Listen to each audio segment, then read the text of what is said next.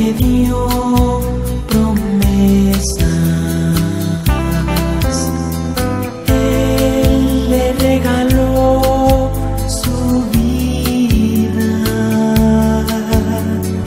Ella lo traicionó.